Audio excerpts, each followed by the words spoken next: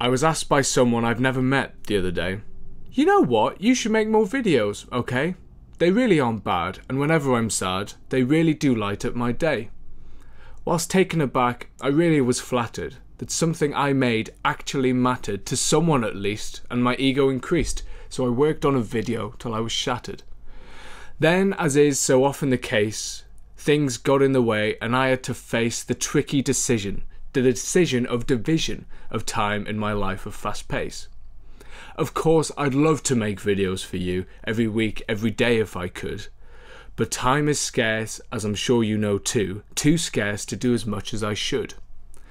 I guess that what I'm trying to say is that this isn't goodbye, it's not that I'm going, but there are new ideas and they are on their way, and I thought I'd share this through a poem.